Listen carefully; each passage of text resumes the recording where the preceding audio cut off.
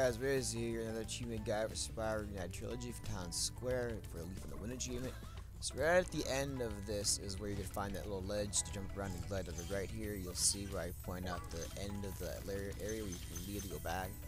And you just basically just jump around over here and that's it. Thanks for watching guys. Stay tuned for more guides for Spyro coming soon.